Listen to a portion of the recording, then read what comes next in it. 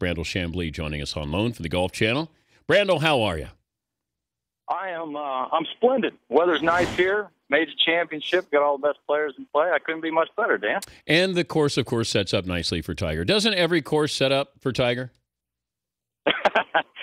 well, no. Uh, I don't think Augusta sets up great for him uh, anymore. Uh, but this one certainly does. Most of them do. I thought Merion did. Uh, I was a bit shocked uh, by his play at Merion. Uh, going in there, I thought he'd own that place with that little cut trap three five wood that he hits off the tee, but it didn't turn out that way. But unbeknownst to us, he was injured. But he's not injured this week, and he comes in here uh, on all cylinders. So yeah, this golf course definitely fits him. Okay, he said this has been a great year. Now, to any other golfer, to any other golf fan, I would co-sign on that and say, "Yep, great year." But if I said to Tiger, you can trade in all these other wins for the PGA Championship, what would he do? I wish you were in the media center. I wish you'd asked that question because I think he'd have, he'd have been caught. Uh, he'd have been caught with his hand in the cookie jar because uh, this is not a great year by. Well, why didn't standards. anybody right. ask that, Brandel? I mean, I don't know. That's a great. That's a great question. Uh, hey, listen, we'll give you all these five wins back. You got a major. Do yeah, trade? well- he'd said, "Hell yes." That's what he'd have said. no, Hell yes. no, he'd go. Well, that's hypothetical. maybe, maybe he'd have tap danced around it, but maybe he'd have been, maybe he'd caught him and he'd been human, and he'd have said, "Hell yes," because he would have, because that number's all that means anything to him. He didn't put Sam Snead's number of 82 wins on his wall when he was a kid. He put Jack's number. He's headed to 18, and he knows when he wins a major championship. Everybody, including myself, who says he's not back until he does win a major championship, will be hushed to some degree. You also said this was a couple of weeks ago. Maybe it was after the British Open. He should fire his swing coach, Sean Foley. Uh, pretty strong statement for a guy who's, you know, according to him, having a great year. Would fire? Would bringing in another coach or bringing back one of his coaches help Tiger win majors? I think so. Uh, you know, I think when I see Tiger Woods be a different person on the weekend at major championships than he is on Thursday and Friday, uh, and I see him making all those rehearsals on Saturday and Sunday, I, I do think that what he is trying to do is is more complicated than he needs. I, I think if he had a teacher who was less theory and more practical application, uh, I think it would it would serve Tiger better. And and listen, you know, it, it almost doesn't matter. I mean, he won with Butch, he won with Hank, and he won with Sean Foley. All three of those are vastly different swing philosophies. I, I think Dan, you could teach Tiger Woods, and he'd come back in three years and win five golf tournaments. It's it's not the teacher really.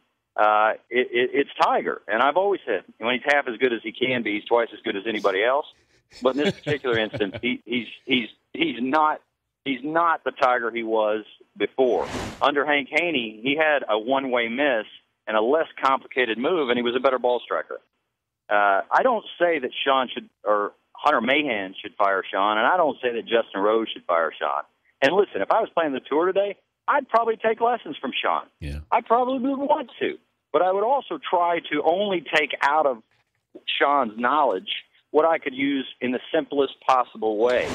I see Tiger two bound up on the weekend at majors. Well, you know what it is, Brando, is greatness cannot be explained by those who are great. If you know McEn- McEnroe couldn't explain his artistry, he was just McEnroe. You know, Joe Montana, I don't think thought. I think Tiger thinks, and I, I've never seen him. I know that he, you know, he's he, he understands the game, and you know, he sees things that nobody else sees, and plays shots and all that. It's just I don't. I see him acting like guys who are just on tour sometimes rehearsing instead of just saying, "All right, when I get this close about five feet and I make birdie, then I'm going to be this, and I'm going to go on to the next hole." He's actually rehearsing a swing like we would on the weekend. You know, you're, you're right. You know, you you couldn't teach that give that McEnroe had when he was volleying, when he'd just give and the ball would just barely get over. I mean, that was an amazing attribute that he had. But you had to be so into the moment to do that. And here's the thing about Tiger Woods: when you got your when you believe in what you're doing, when you believe in it, well, then you can, in the heat of a major championship,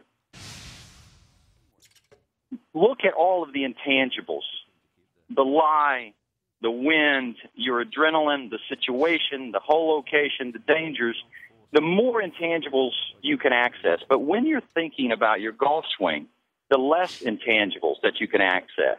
And that's the that's the larger part of why Jack was better coming down the stretch was Jack believed in what he was doing. He wasn't thinking about the mechanics of what he was doing. Tiger now thinks about the mechanics, so he misses. You hear him complain now about green speeds.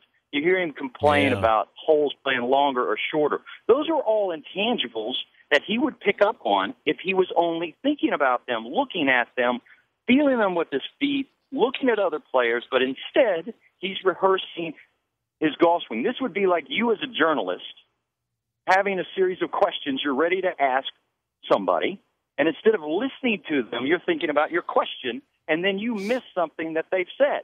You don't do that as a journalist. You're in the moment. You're, you're listening to the person you're talking to, and then you respond to them. You have questions to fall back on.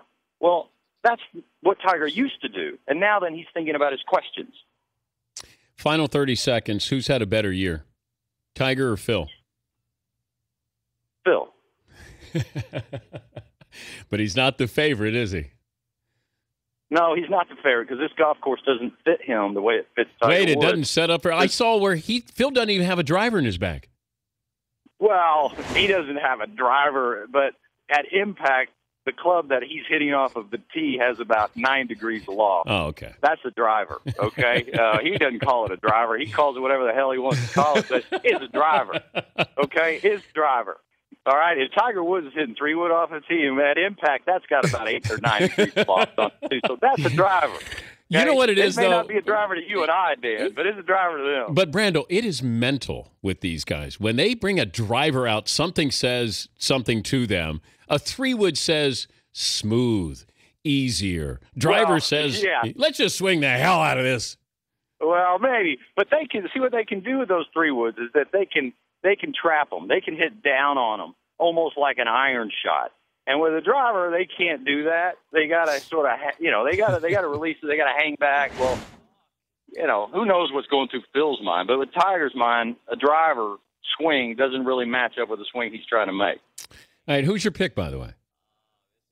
Tiger, and you know, it's funny. I mean, this golf course has got eight dogleg rights on it, and it really doesn't make you miss it or have to play right to left. Uh, Tiger Woods, you know, he the last time he won a tournament by as wide a margin as he just won Bridgestone was in 2007 when he won Bridgestone, and he went on to win the PGA, the golf course, everything that's going on. I think Tiger.